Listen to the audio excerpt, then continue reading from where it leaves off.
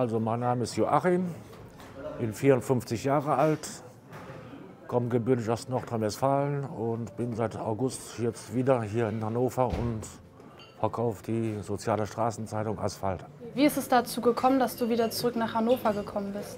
Bin oder war die ganze Zeit obdachlos und bin so quer durch Deutschland gereist, mal hier, mal da und ja, war früher schon mal hier in Hannover und habe auch Asphalt schon verkauft. Ja, und bin hier wieder nach Hannover zurück und verkaufe hier wieder die Asphaltzeitung. Also verdienst du dein Geld von Asphalt oder gibt es noch andere Wege? Ich kriege auch äh, vom Jobcenter mein Geld. Und ja, da wird auch die, die Miete mit bezahlt von und Krankenversicherung.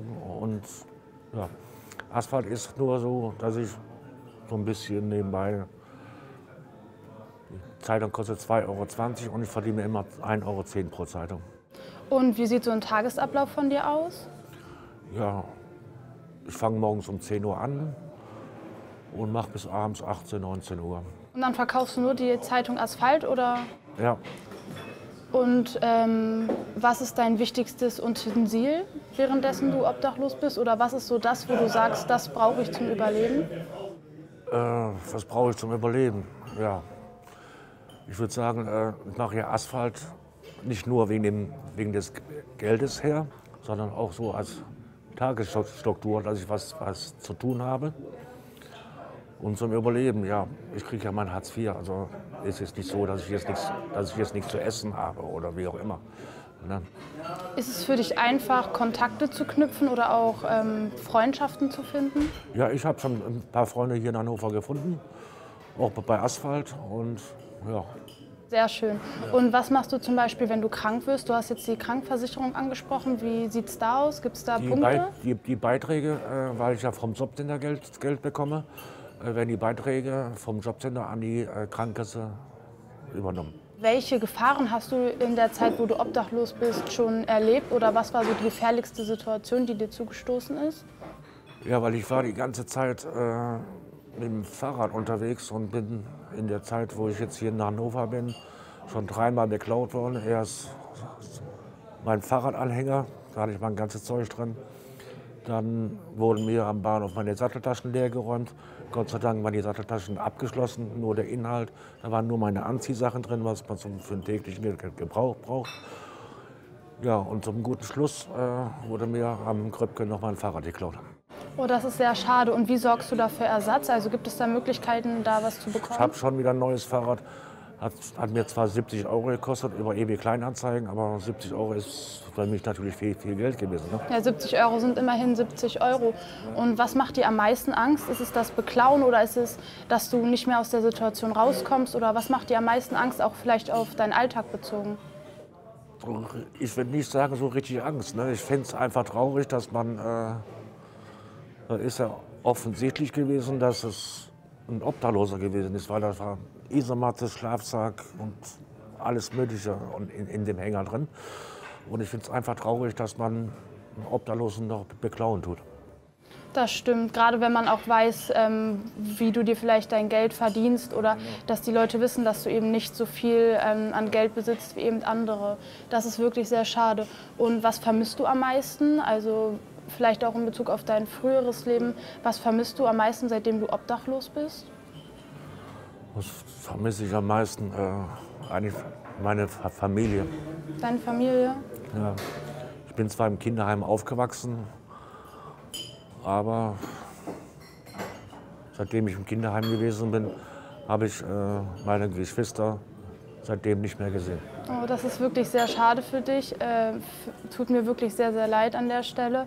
Ähm, wie ist das denn so? Könnte man sich denn eine Beziehung zum Beispiel auch auf der Straße vorstellen? Oder hat sich das eben durch die Obdachlosigkeit ähm, auseinandergelebt? Ich hatte seit- seitdem ich im Kinderheim äh, gewesen bin auch, auch keinen Kontakt mehr zur Familie. Ja, und das ist schade, aber vielleicht wissen die auch nicht mehr, wo ich mich gerade aufhalte oder wie auch immer. Und ja, bin mit acht, acht, oder, acht oder neun Jahre war ich damals, bin ich ins Kinderheim gekommen, weil mein Vater schwerst Alkoholiker war und ja, dann bin ich dann öfters von zu Hause abgehauen und ja, irgendwann wurde mal das Jugendamt eingeschaltet. Dann bin ich von sieben Kindern der Einzige, wie man so aufs Deutsch sagt, äh, das schwarze Schaf, ins Kinderheim gekommen ist, weil ich der Einzige war, der sich da alles nicht gefallen lassen wollte und immer öfters von zu Hause ab, abgehauen ist. Aber würdest du sagen, dass sich dein Leben dadurch verbessert hat oder glaubst du, dass es, wenn du nicht ins Kinderheim gekommen wärst, ganz anders verlaufen wäre? Es wäre vielleicht anders verlaufen, wenn ich äh, im Kinderheim äh, seit meinem 18. Geburtstag, dann habe ich zu dem Heimleiter morgens, morgens gesagt, äh, ich bin jetzt 18, jetzt kann ich tun und lassen, was ich möchte. Ja, und er hat zwar zu mir gesagt, Achim, bleib hier, wir helfen dir weiter mit Wohngruppe, mit Ausbildung und so weiter und so fort. Aber mein Dickkopf damals, 18 Jahre, jetzt kannst du tun und lassen, was du willst. ja, und so bin ich auf der Straße gelandet. Was tust du dafür, um aus dieser Situation rauszukommen? Du hast jetzt schon Asphalt angesprochen, um damit dein Geld zu verdienen. Gibt es noch irgendwelche anderen Möglichkeiten, die du vielleicht auch schon probiert hast, um vielleicht schon früher aus dieser Situation wieder zu entkommen? Ich habe es noch nie so richtig versucht, bin ich ehrlich, weil ich bin nicht nur in einer Stadt gewesen, sondern so, äh, wie man auf Deutsch sagt, äh, auf Durchreise. Bist du da mal drei Tage, hier mal drei Tage. Dann, wenn man so auf Durchreise ist, kriegt man ja auch Geld vom Jobcenter. Aber für die Leute, die auf Durchreise sind, gibt es dann immer nur drei Tage im Monat. Und nach den drei Tagen musst du, musst du wieder weiterreisen. Oder machst dich natürlich sesshaft, machst mit Postadresse. Aber wenn man auf Durchreise bleiben möchte, dann kriegst du nur in manchen Städten nur die, diese drei Tagessätze im Monat in einer Stadt. Was hindert dich denn vielleicht auch an der ähm, Suche nach einem Job oder nach etwas, wo du wirklich sagst, damit kann ich mein Geld verdienen, um auch wieder aus dieser Situation vielleicht rauszukommen? Ist es die Angst vielleicht vorm Scheitern oder vor einer Absage? Nee, ich bin jetzt, bin jetzt hier in Hannover und äh, habe jetzt auch schon mal eine Unterkunft mit, mitbekommen hier, hier in Hannover. Und da würde ich mal weiter schauen, wie es weitergeht mit Arbeit und mal, mal eine richtige Wohnung. Und auf die Unterkunft kannst du dich verlassen, dass du da auch ja. wirklich nächtigen kannst? Ja, ich habe da mein, mein Einzelzimmer. Ich bin in so einer Dreier-WG, ist das da oben, da wo ich wohne. Wir haben eine Gemeinschaftsküche, Gemeinschaftsbadezimmer, aber jeder hat sein einzelnes Zimmer, was man abschließen kann. Ja, das ist ja auch wichtig für die Sicherheit. Fühlst du dich wohl oder? Ich fühle mich wohl, ja. Fühlst du dich wohl? Ja. Und wenn du einen Wunsch frei hättest, was wäre dein Wunsch? Eine richtige eigene Wohnung mit, mit meiner eigenen vier Wänden. Mit deinen eigenen vier Wänden. Und du hast jetzt angesprochen, dass du schon bemüht bist. Also glaubst du, dass du auf dem richtigen Weg bist, um das auch zu erreichen? Ich bin auf dem richtigen Weg, weil wir haben bei, bei Asphalt eine Sozialarbeiterin, die mich viel unterstützen tut. Nicht, nicht nur die so, so, Sozialarbeiterin, sondern das ganze Asphaltteam. Sind diese Leute in deinem Leben sehr wichtig, dass du auf Spur bleibst? Die sind mir bei Asphalt auf jeden Fall sehr wichtig. Also glaubst du, es ist wichtig, dass es solche Menschen gibt und Unterstützung ja. gerade für Menschen wie dich sehr wichtig ist, um ähm, eben auch weiterzukommen im Leben? Ja, auf jeden Fall. Und was sind so deine Pläne für die Zukunft? Hast du vor, in Hannover zu bleiben oder wieder weiter rumzureisen? Nein, ich habe mein Ziel ist, hier in Hannover zu bleiben und, und hier mir in Hannover auch eine Arbeit äh, zu suchen. Und, und der erste Weg ist erstmal natürlich die eigene Wohnung.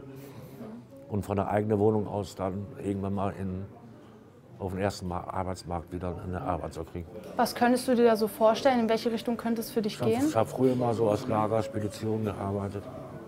Ja, da wird es in Hannover bestimmt genug Möglichkeiten ja. sein, wo du dich darum kümmern kannst. Ja. Und dann wünschen wir dir auf deinem Weg auf jeden Fall ganz viel Glück. Vielen Dank.